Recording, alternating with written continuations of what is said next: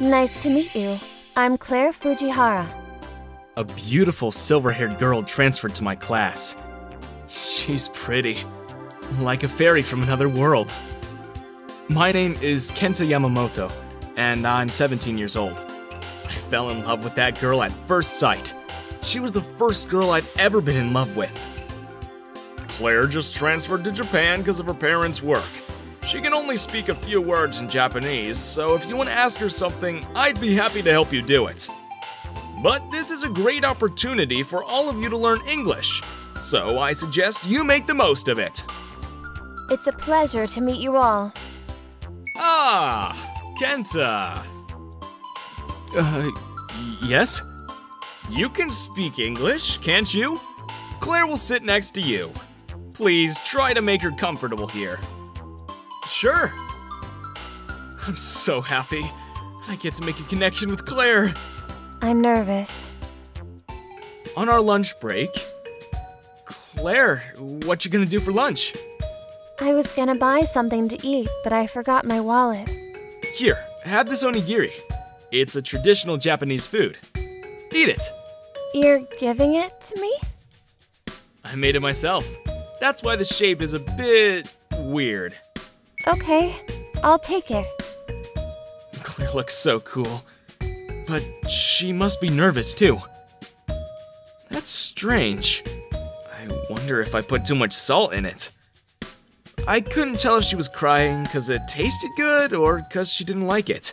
I assume that she wasn't able to express her emotions easily because of the language barrier.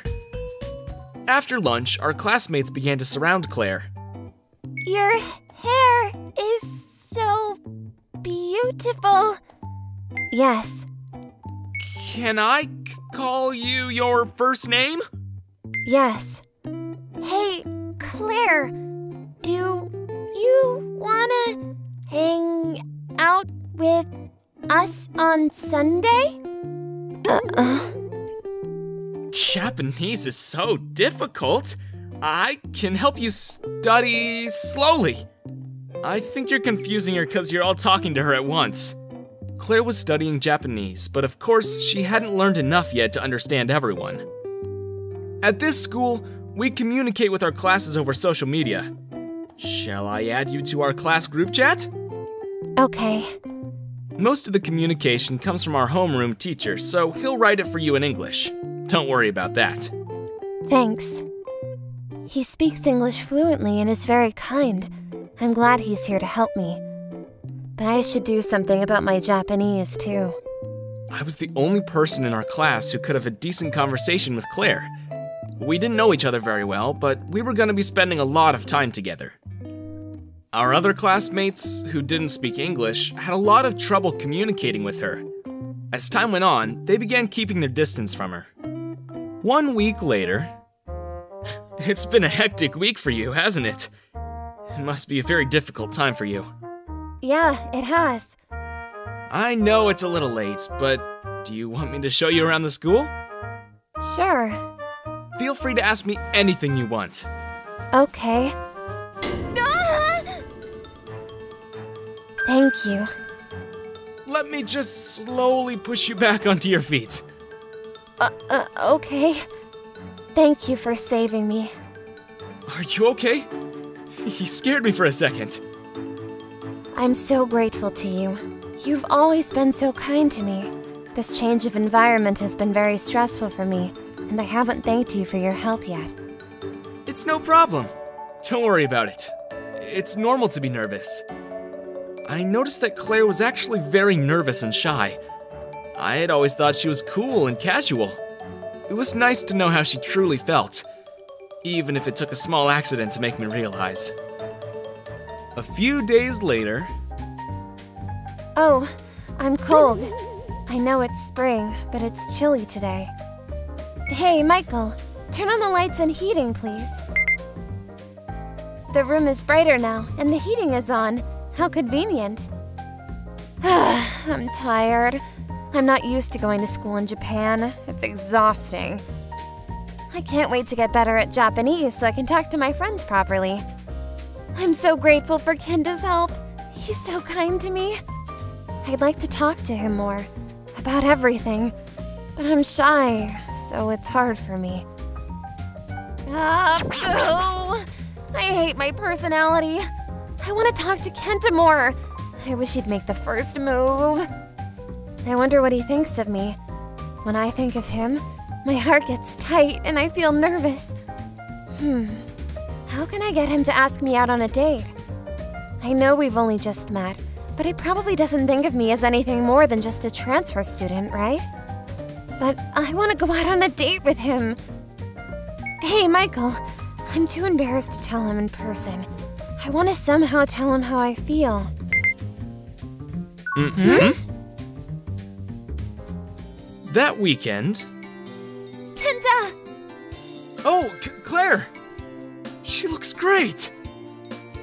Was I out of place to spontaneously ask you out on a date? No, it's okay. Great! Let's go then. Oh, uh, um. Claire, have you ever played a game like this one before? My brother likes to play fighting games, so I've played a few times. Oh, I see. this is awkward. I don't know what to say. But we're here. Um, Claire, are you still a bit shy around me? What? You seem like a very cool person on the surface, and that's amazing. But I want to get to know the real you. What? He's right. If I don't show him my true feelings, our relationship is never gonna go anywhere. Anyway, I don't want to hear you make any excuses if I beat you. Ah, uh, okay. Claire started fighting back in the game and knocked me out very quickly. Kenta, you're a slow learner. That's the first time she's ever genuinely smiled at me. She looks even cuter when she's smiling. After that, Claire loosened up, forgot her nerves, and we had fun together in the city. Oh wow, that was fun! My feet are so tired. You're so weak. I can tell you feel more comfortable around me now. You look beautiful when you laugh like that. Oh. It's not fair of you to compliment me out of the blue like that. Uh, oh no! What am I doing? I'm acting so corny. Why did you ask me out today? Uh, what? No. Uh. That. Uh, What's wrong? You asked me out because you like me a little bit, right? no. Uh, um. Are you hiding something from me? Come on, fess up! Actually. Huh? I sent a voice clip to the class group chat? The whole conversation was in English, so I think I was the only one who understood what you were saying. But I heard you say that you wanted to go on a date with me, and that you were too embarrassed to tell me yourself. It made me blush. What the heck? I don't remember sending that. Your face has gone all red, but I'm the one who should be embarrassed. I was so happy when I heard it. I fell in love with you the moment I laid my eyes on you, Claire.